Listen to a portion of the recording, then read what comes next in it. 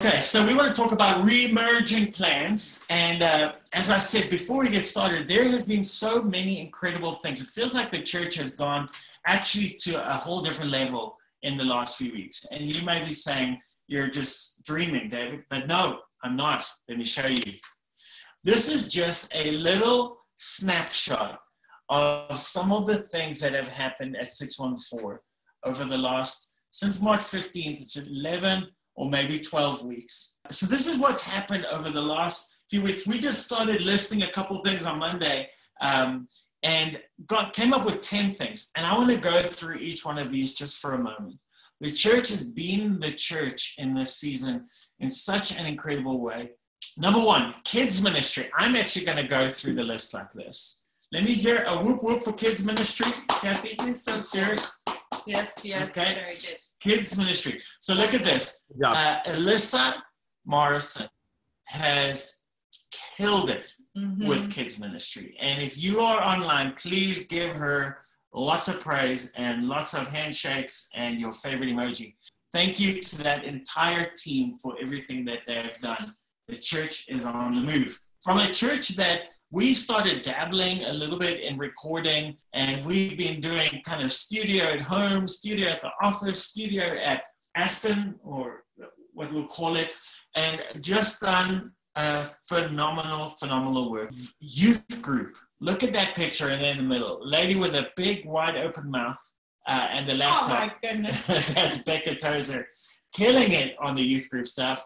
Aaron at the top, Danny lying down with a with a base shirt and Cece. And the four of them, along with Connor and Abby, uh, our kids have, have gotten together and every week have planned a meeting. The next week they had a, a, a Zoom meeting. Then they planned one the week after. And just this last Sunday, they uh, they got together and got 16 names of people who have visited our church or shown an interest in a youth group and drove to all of their houses and dropped off a gift bag with an invitation to see them at the next youth meeting. Now, for the uninformed, let me just tell you you watch a worship video on YouTube and you think, wow, that looks good. That looks easy. I'm, I'm sure you know, you look, there's a cable, there's a mic, just plug it in and go. Countless hours that everyone has spent in this season putting together some semblance of a worship service and a, and a sermon so that we could still stay on the same page as a church. Prophetic training, it's called Basic Training for the Prophetic Ministry. It's a course put on by Bethel uh, in Redding, California. And in lockdown, in this season, this thing started. And uh, at their first meeting, I think they had 12 or 14 people and, and people learning or receiving prophetic words through Zoom for the first time in their lives. People learning to hear from the Lord and give words from the Lord in this season in lockdown. I love it. Mm-hmm. It's amazing. The church has never shut down. It, it never did shut down. We just kind of didn't do Sunday meeting. Wow. When I think of the giving that we've been able to do as a church in the last 11, 12 weeks, $15,000 we have given in oh, the last three weeks, wow. uh, last three months. We gave a lot to Centennial. We've given a lot to the Dublin Food Pantry when we did gifts. You can see in that picture there in the middle, Stacy's here with his mask on. Interestingly enough, the giving at 614 over the last five months has not decreased. It has actually increased fairly significantly. Okay, life groups. We've had at least seven life groups actively meeting. Here's some screenshots of some of those. We were meant and made for community because we made in the image of God. So even just the ability to meet online or meet in a parking lot has been so healthy for people.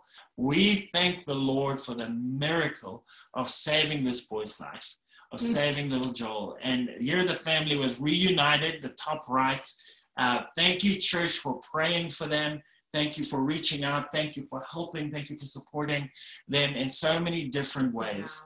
So uh, let's continue to pray for Joel as he continues to recover. But we just thank the Lord for his protection over that family. But we've had at least 10 Wednesday night live sessions in the last 12 weeks. Oh, wow. The only shame is we only got to record the last two when we figured out how to do the Zoom and being able to record it and put it on on YouTube.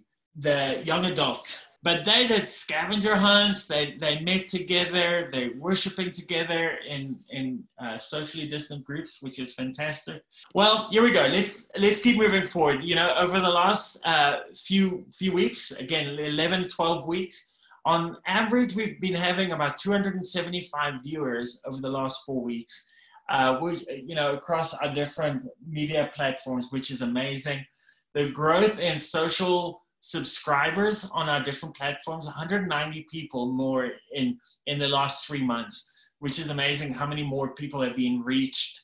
Um, and um, we're just trusting that people have been blessed through it, people have been saved through it, and lives have been blessed and enriched through the message that the Lord has given.